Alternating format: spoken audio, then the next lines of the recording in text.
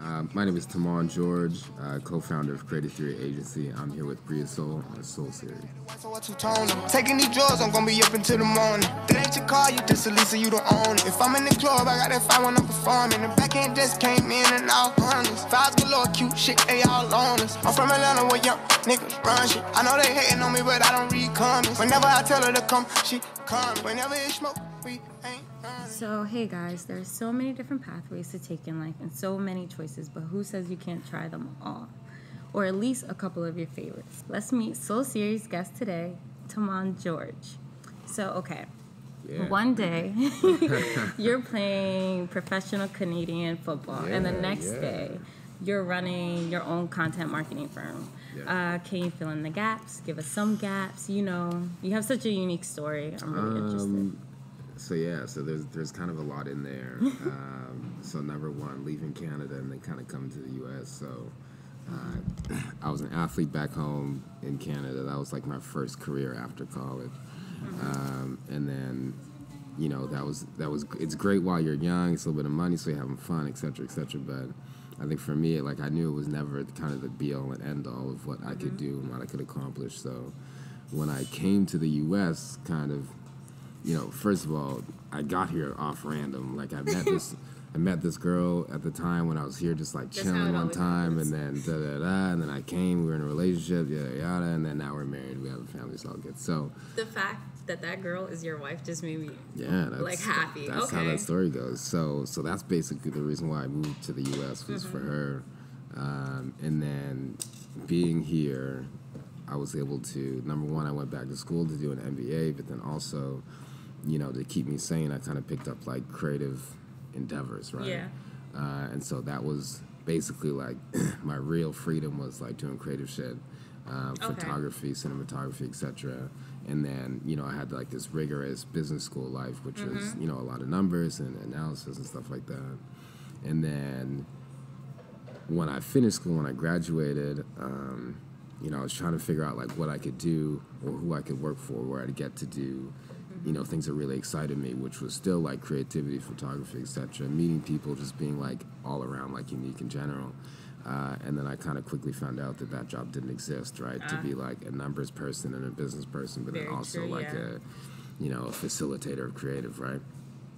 So then somewhere in like 2014, I ended up meeting Gary Williams, who's now my business partner. that goes then- into my next question. So how did you meet him? yeah, so how we met was just kind of off random. Here Mm-hmm. in the city, it's like a smaller, it's a small group of like creative black folk in general. Pretty much. Uh, and so, you know, just the two of us, you know, having a little bit of numbers on Instagram and then, you know, being a little bit similar in like style and purpose and mission and stuff like that. We met once to another guy, his name was Roland actually. Um, and then we worked, we needed each other for a couple individual Okay. projects That initially. makes- that it. Uh, and then we kind of realized that there was enough synergy there to start a Mm-hmm. business. So we started tinkering around with that idea, Okay. went after a couple things, and then, you know, right from there, it kind of just, we're on the move ever since.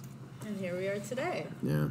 So, just because we're on the topic of creative theory, I peeped you guys worked with Google, you Mm-hmm. guys worked with the YouTube project. Um, tell me about your favorite project this far underneath the creative theory. Wow, that's that's that's a good Yeah, it's question. gonna make you think. um, um, yeah, I'm gonna have you think. yeah, that's difficult. So, from a production standpoint, um, one a project we did a couple years ago, we put together this magazine, uh, which is called Thrive Magazine, highlighting um, young entrepreneurs of color in the DC region who are doing amazing things. So, um, we shot it, I wrote it, edited it.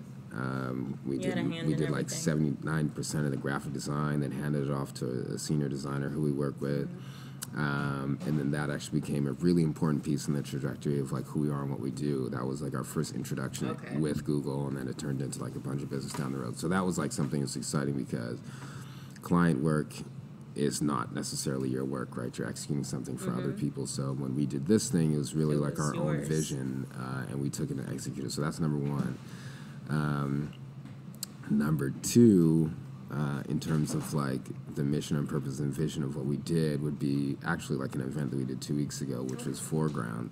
So we created this um, event Oh, summit. I've been on their website. Yeah, Sorry. so we, we put foreground together with the theory that um, you know a lot of the work that we had done, especially in the diversity and inclusion space, Mm-hmm. um, was like really unique, really exciting, and it allowed you know us as entrepreneurs of color to basically like bring our true selves to the table, and like that alone added a lot of value to the conversation, right? Right. And so we made this event, brought in speakers from across the country. Um, How did it go? it was it was great. It was was, great? really amazing, really amazing. Um, to the next one.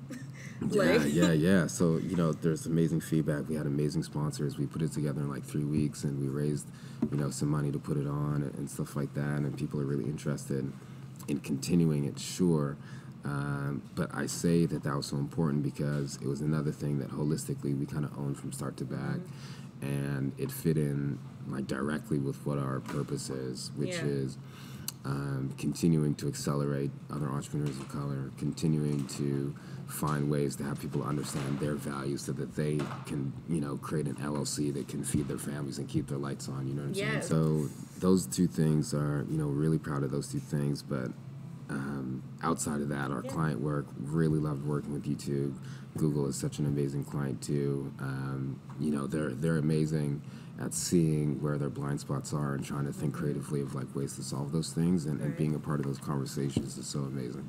Are there any lessons or tips that you learned while doing football? You know, growing up in the football Yeah, life yeah, yeah. that are transferred now Yeah, I- into yeah The okay into thing, the into the work thing, that you do. The whole thing, the whole thing. So I think, um, so the main thing about being an athlete, which was basically my identity from like 15 to 25, Yeah. was that um, every day is an opportunity for growth. Okay, so Mm-hmm. especially when you're at a high level, everybody's good, everybody is fast, everybody's strong. That's not a differentiating factor anymore. Mm-hmm. Um, and so when you think about business, that's kind of the same thing. Everybody's good, everybody has experience. You know, everybody's is knowledgeable. right, everyone has access Right. to this.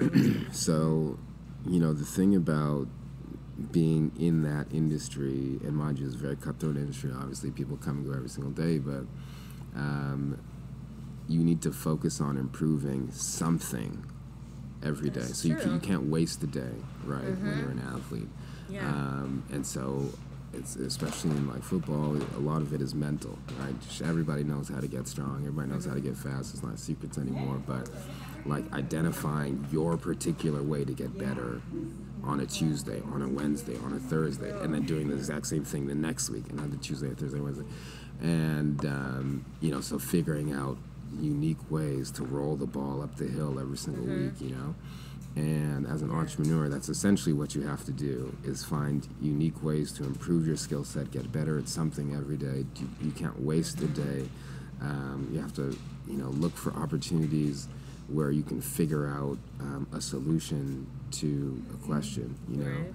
And uh, so a lot of it really just kind of goes back to like the growth mindset, you know, that, you know, you haven't reached your full potential, Potential. yet, your mountaintop yet. And um, being like, I don't know, committed to the idea that there's room to grow. Very, very good answer. Like I, I, I love that. Mm-hmm. Speaking of, how do you balance, you know, everything?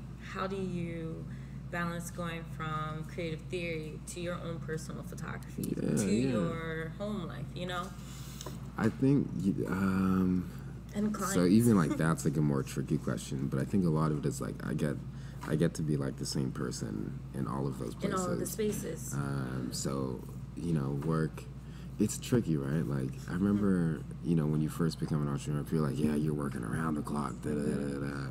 And I was like, what? That's crazy. Why who wants to do that? And then you, especially like this year, you know, I've started to understand that more, but it doesn't. It doesn't feel like work in a way.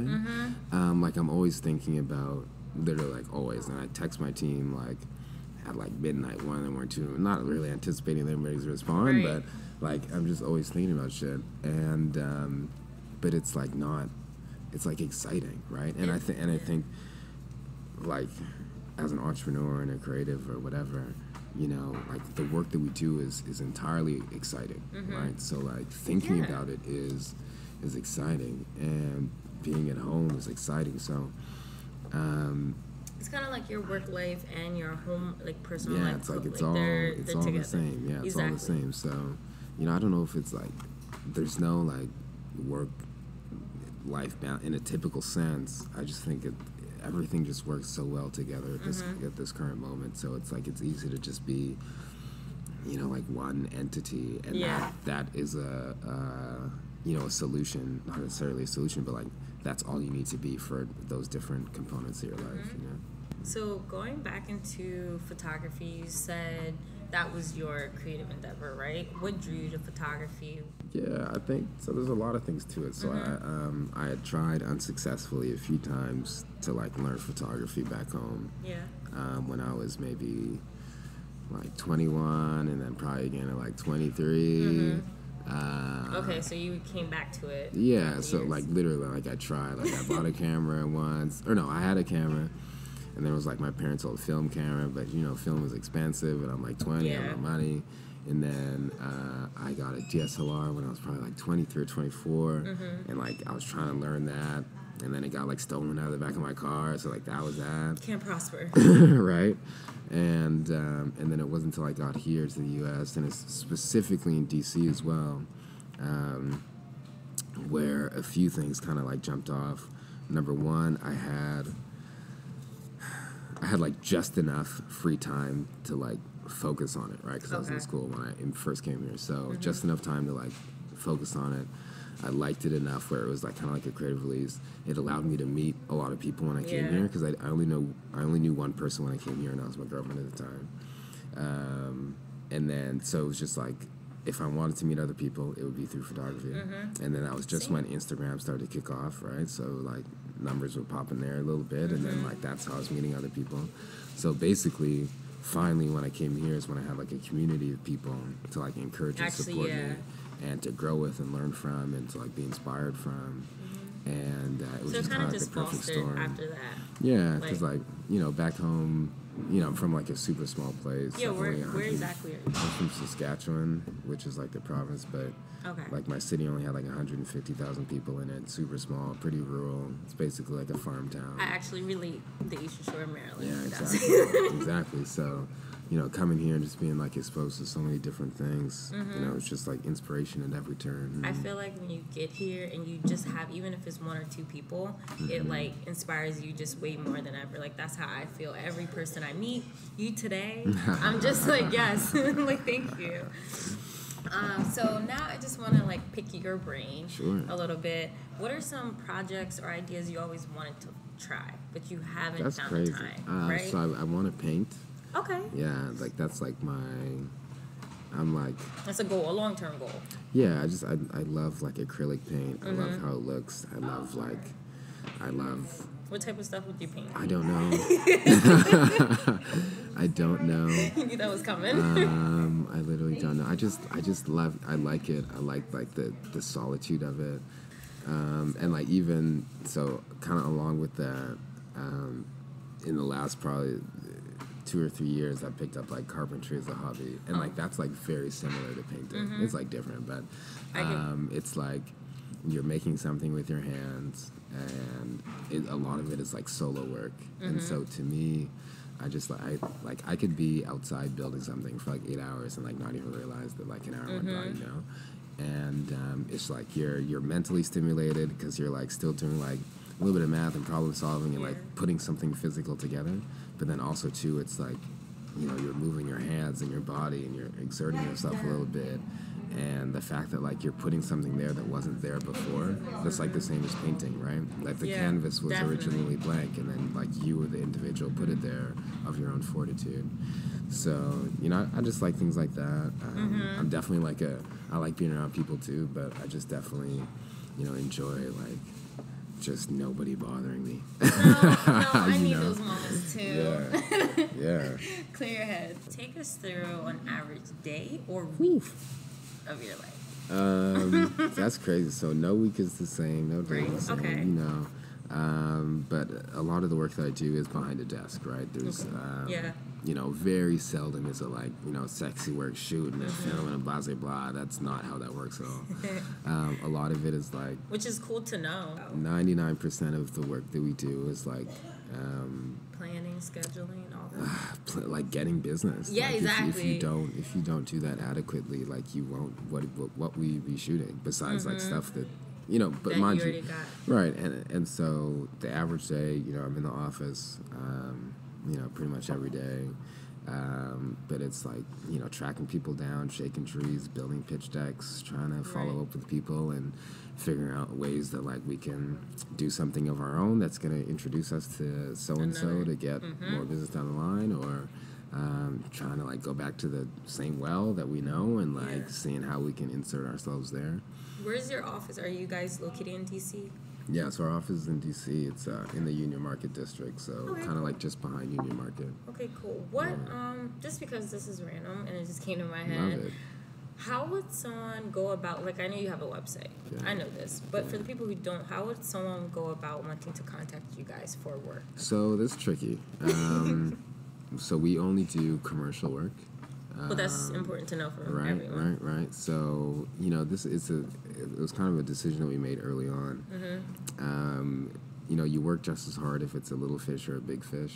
And often, like, you know, if you're skilled and capable enough to go after big fish, your portfolio's sound enough, your credentials are sound enough, you know, it's kind of like a why not. Mm-hmm. That's what we decided early on to do. So, you know, the work that we do, um, you know, we, we typically don't really work with small business unless it's like friends and stuff like that, people who like know and love and Right. believe in. Um, but at the same time, like, you know, you got to keep the lights on. You know, I think we a lot of the work that we believe in that we that we like want when we look at like what we want to do, we have to go after that. So Right. it's not very often people coming Come to to us. you guys. Okay. Um, you know that happens, and I, when we do, it's it, we're always very fortunate. Mm-hmm. Um, but we're definitely in the business of um, really understanding what we want to do, where we can add the most value, and then going after that. Random art question. Yeah. It is sometimes claimed that art must always send some form of message to the viewer. What is your opinion? Should the message always be clear to the viewer? Should it always be beautiful? What do you think Yeah. about messages in art and Yeah. how people interpret it? Uh, so I would agree. I would agree with that statement entirely. Okay. Um, I would say that because art is always up for interpretation. Um, Very true. I feel like you have to leave gray area. Um, your story, as you capture it, I don't think it should always answer every question. I feel like it should leave people to believe that their idea of what they just experienced can be correct, can be truthful, can be like Kind of like a connection. can be parallel exactly Okay. um, you know uniqueness is just let it be let it be obscure Mm-hmm. that's my thought like let it be obscure and then like hint a subtle hint to whatever it is that the meaning is um, you know things that are like super literal to me are always like eh, you know what i mean like it's yeah. like the intrigue is gone you know? Right.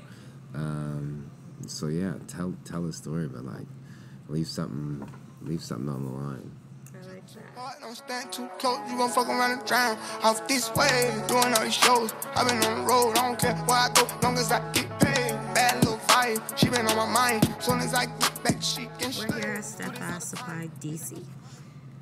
Okay, so I'm gonna pick your brain. A black couple comes see you. okay and they want to do a shoot solely about black love. Not an engagement, you know, nothing, they're not married, but they're like, come on, I really need to go in DC and we really want to like symbolize black love. Where would you take them? What themes? And they're like, we don't know how to pose. I don't know. Ooh, that's tricky. What would I do? Um, if you can. So my original thought is I would need to make it as far as possible away from a traditional couple shoot, right? Right. So that, or else, just to make it worth it, right? Or else it's like, just go on Pinterest, make a board, and like knock out six shots. You- You that's know what I'm very true. Um, but if it, if it's like meaningful, then it's different. Um, so, you know, it would I would take some time and really think about you know, what inspires these two people? Why they even like thought of this idea? Right. And then for me, um, I like to think of these things in like doing the most simplified version of something. So, I, all right, so I don't know if you've ever seen on Netflix. There's this um, like documentary series called Abstract. Yeah. No. Yeah, I so so the very first episode it was the um, like the illustrator, right? And so Mm-hmm. he does like all the covers of like Time and all that other stuff. And so you know his philosophy is to find the right balance of like literal and abstract, and then like put it right in the middle. So when the example I'll use is, you know, so you can draw like a heart, right? So a heart signifies love, right? A red heart. The literal version of like a heart, which is signified in love, etc., is like a legit like beating heart with valves and veins and like blood squirting out, right? Right. And then the most abstract version is a red square, Okay. right? So like you have to find the middle point, or not even necessarily a middle point, but like the Bridge. the least version of abstract or the most abstract version that signifies what you're trying to represent Okay. right and that's essentially how we get to like this circular or like two ovally thing that looks like a heart that means love right or we could just be drawing red squares for love right Yeah. um, so saying that would be i would not look for a little or f- literal form of like what love looks like visually with between two people and mm-hmm. just like pose them there so what that could mean is i would either number one i'd take them to an abstract location that doesn't immediately like Scream out loud. scream like oh, like like you're on some like you know you wouldn't I wouldn't put it on no bridge or no pedestal Right. or Something no that whatever, symbolizes whatever. romance or. Right, none of that stuff, and even like what they're wearing too. I would also try and find like the more abstract version of whatever that is. So, either that's like color or pattern or size of clothing. Right, mm-hmm. these are all things that you have to like think about. So you kind of take them out of like their individual representation and just like so you think of them as just like human A and human B. Yeah, I was gonna say like a vessel. Right. Two vessels. yeah. Exactly. So now it's like, so then you can start thinking about, all right, so what should they be wearing, right? Because it mm-hmm. like it almost human A and human B, like you don't want one person in heels and the other in sneakers. Well, then it's like clearly like literal, like a man and a woman. You know, it's not that like they shouldn't be a man and a woman, but like if we're signifying black love. Like it doesn't have to be, be. a man and a woman. It mm-hmm. doesn't have to be heels and, and sneakers. It doesn't have to be, you know what I'm saying, like a man lifting a woman. Do You understand what I'm saying? So now we're thinking of like, all right, so I'm just trying to put human A in something and human B in something and put them in an abstract place that like identifies their connection in a unique way. So then it's like Yeah. they could be, it could literally be like two hands reaching for the other or one hand reaching for another hand and one hand is like wearing a you know a black sweater and another wearing a white sweater on some type of background that like identifies that clearly these two things are trying to like meet in the mm-hmm. middle that which is whatever form of love you know what i'm saying so it's like how do you like figure this out in a weird enough way to kind of like put it together as something that isn't like oh my god like happy two years happy anniversary Um, so actually, that was perfect. I'm gonna stay away for this uh, two other examples. I actually want to ask you about fashion. sure So I mean, everyone loves fashion, right? But Yeah, you, yeah, yeah. you sir, apparently you've been called walking GQ so like my mom's super fashionable person um, influence. Um, but like obviously growing up, we didn't like have much of anything. Uh, so my parents were immigrants, so Okay. you know we were just trying to like get ourselves situated. prosper. Um, so you know you got to find a way to like pull off whatever you're trying to pull off, baby. you know what I'm saying? Definitely. Um, but I think you know it's just like um. So, I think I'm not into fashion. Okay. Um, other people might say, Well, maybe- okay, yeah. maybe, but to me, it's just like so. This is the thing about so I only wear I only wear Levi jeans, okay. right? And in the winter, I wear Doc Martens every single day, okay. and in the summer, I wear Chuck Taylors every single day.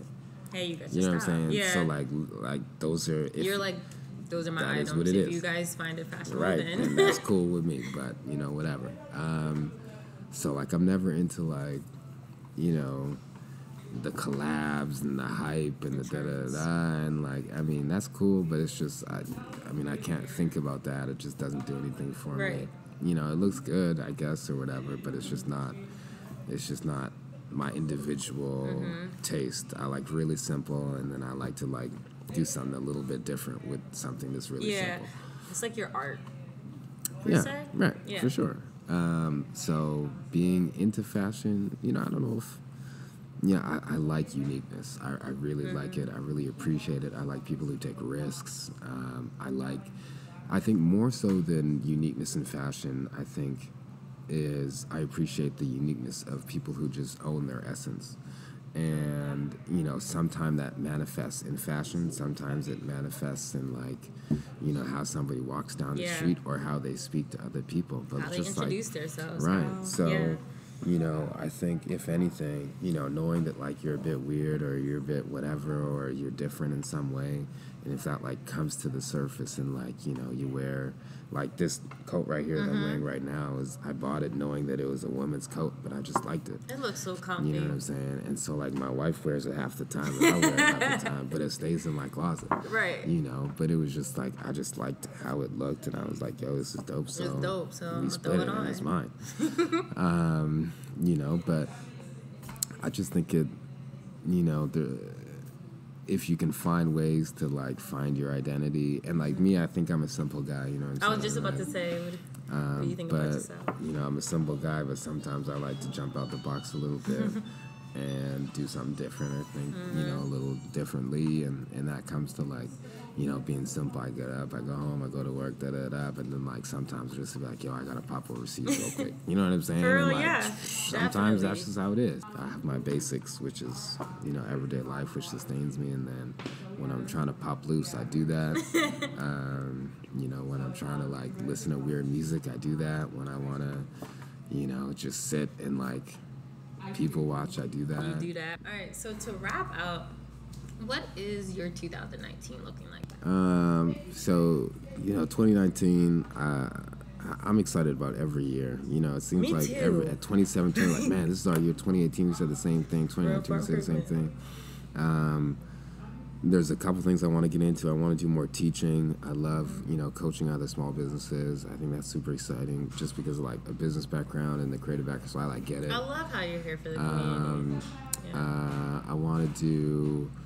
Uh, I want to get deeper into film. You know, 2018, I discovered a love of like really producing and executing and ideating around film and what stuff can just like look like. So that was really unique to me in 2018. Want to extend that 2019. Um, in like business, I think we have such a really cool opportunity. Like go after some really cool things. Uh, I think our team now is like really just right. We have all the right pieces in place um, to like to be amazing every single day. So that's really exciting to me. Um, like personally, um, I'd love. I'd love to learn how to paint for. real. I know I said that, but like that's truthfully what I want to get into. Um, and uh, I don't know. Maybe pop overseas a couple more times. Nothing too crazy, honestly. Nothing too you know, crazy. 2019 is just every year is just another opportunity for like a little bit, a little bit of growth, and and uh, it's exciting.